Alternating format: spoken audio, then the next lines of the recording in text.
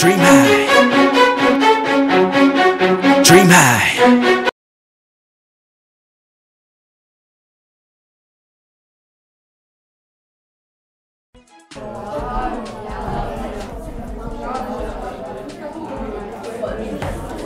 activity.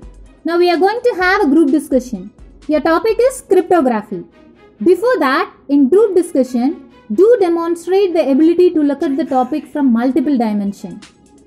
Allow others to speak. Do not interrupt others. Even if you don't agree to their thoughts, do not smash their chance to speak. Instead, state your point when it's your turn.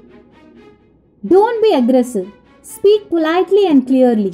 Maintain positive attitude. Listen carefully to others. Keep the discussion on track. And most primary rule of GD is speaking. Now let's start. So basically, we're going to be talking about cryptography today. So cryptography is like derived from long back, let's say from ancient Greek. So in Greek, cryptos means hidden secret, and drafting means writing. So basically, uh, cryptography is like secret writing. So modern cryptography is heavily based on mathematical theory and computation in practice. And so, like cryptographical algorithms are designed around the hardness like uh, computation hardness or operations so like which is break in or break into practice. Is encrypt communication between us and the system. When the internet was developed it was a small academic and government community. On the list we have a concept in cryptography called one time password. To save important information in the program to log into the program we need one password. It was used in world war 3 actually. It was it was used by nazis. They they made a device called enigma it uh, involved this substitution crypt- substitution cryptography. So one letter is converted into some other. So it's always involved. So it was like if you type the letter a it is converted into some other letter. So if you type the letter a something else will come out on the screen. And and for encryption and decryption you should have the enigma at same configuration. Then only it will be able to you know decrypt a message. The secrecy in storage is usually maintained by a one key system where the user provides the key to the computer at the beginning and then the system takes care of the encryption and decryption throughout the course. So for example we can take whatsapp. Nowadays when we send a message through whatsapp we get a message that we us and the other person is connected with end-to-end encryption.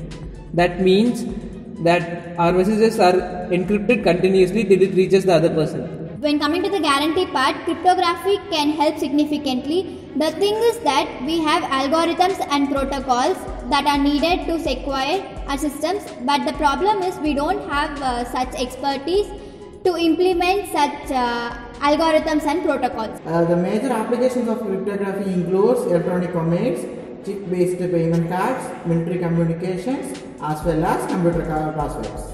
Information security, such as uh, data confidentiality, or data integrity, authentication, and non-repudiations. So, uh, as everybody explained about what is topic, uh, what is this cryptography actually, uh, I would like to elaborate on things how this cryptography actually works. Like we all send messages, right? First of all, when we start sending messages, then only it gets received so, uh, in the sense, cryptography is a tool. It's a group of. It's a tool which helps us to share messages more privately. Uh, for an example, I would like to quote a movie. It's the Skyfall. It's a James Bond movie. What they do is they they used to hack into a computer. In the same way, they just hack into their own computers.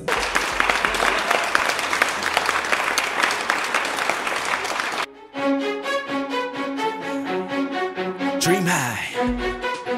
So here we are guys with some study tips at the end and the question you're going to be asking yourself is how to increase your GPA. Your GPA is key to gain perfect score. What to do the day before an exam to get 100%? So, the first things first, never go for a full night study the night before the exam, okay? Remember this. Try different methods for a given problem. Sticking to one is so boring. Third, memorize and memorize again until the moment you fall asleep. Our brain turns what we have learned that day into a long term memory before we feel asleep.